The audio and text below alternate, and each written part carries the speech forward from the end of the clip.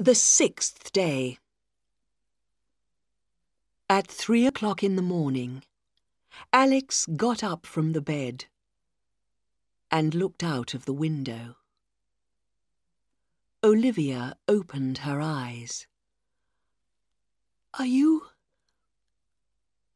Are you leaving now? she asked. Yes, Alex said. I can't stay longer. Perhaps the police are out there now. They're watching all our friends' houses. Paulie told me. He put on his shoes and coat, then looked at his wife. Olivia, listen.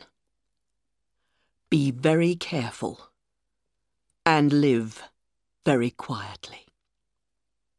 The police are going to watch you for some time. Wait for a year, then take the children and leave the country secretly. Our friends can help you. Find a new home in a new country and make a new life. Olivia began to cry. But Alex, you're going to be there with us.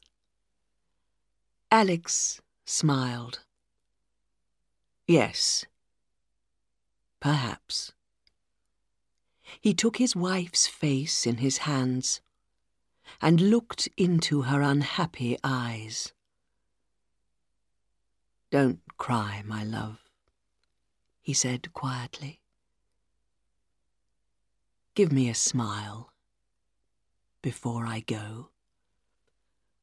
Oh, Alex, I'm afraid. Olivia could not stop crying. I love you. I love you, she whispered. Go quickly. And be careful. Please. Alex smiled sadly. Goodbye, my love. He left the house quickly and went out into the dark night. He waited for ten minutes at the door and listened. But he heard nothing and saw nothing. He came out into the road very carefully. Again, he waited.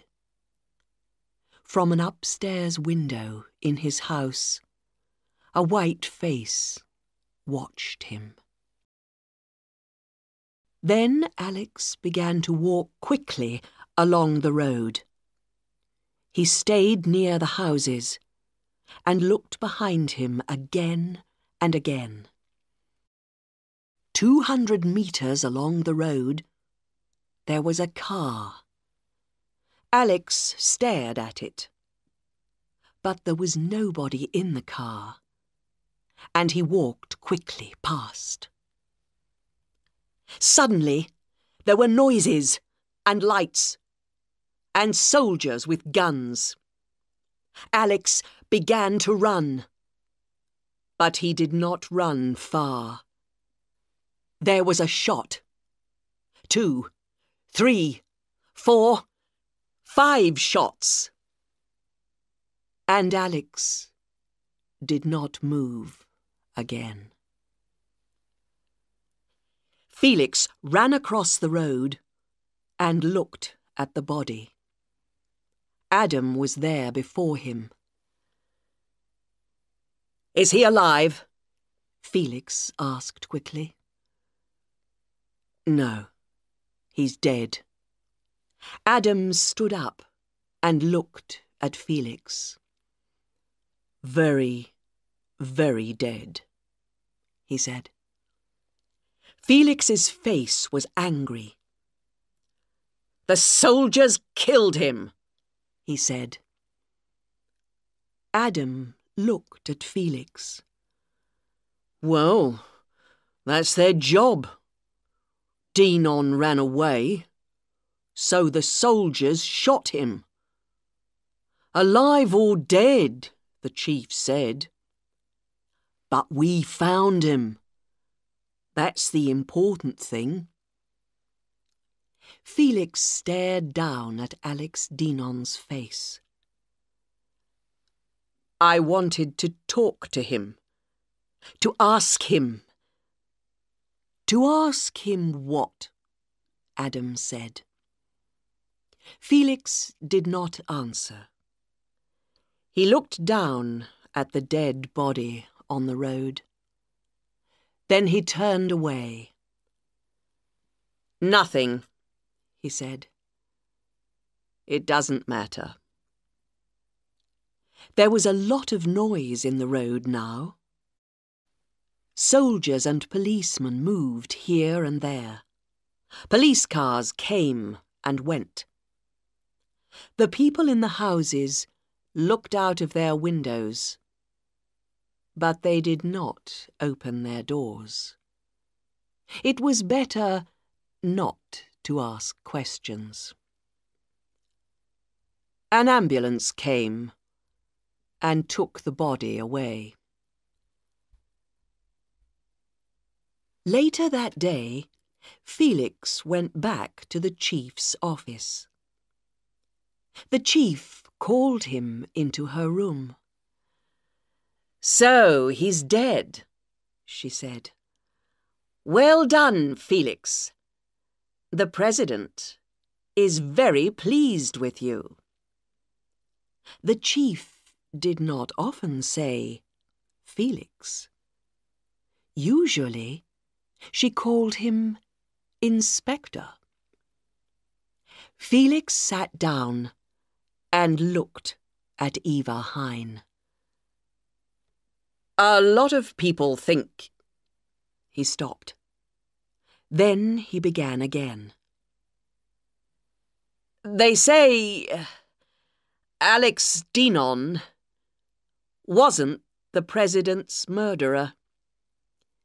People say a lot of things, the chief said. She smiled.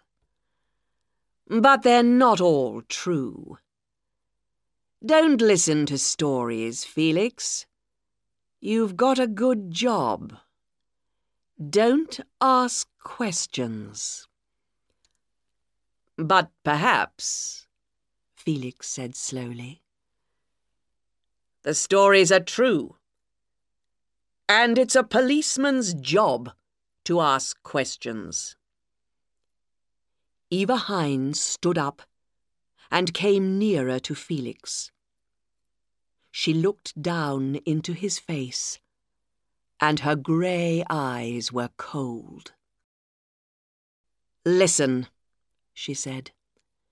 Somebody murdered the old president, right? And our new president needed a murderer. Quickly. So we found a murderer for him. Alex Dinon. We don't kill murderers in this country. They go to prison. But Dinon escaped from prison. And now he's dead.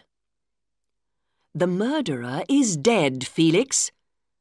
And that's the end of the story. It was very quiet in the room. The chief watched Felix and waited. Felix looked down at his hands and said nothing.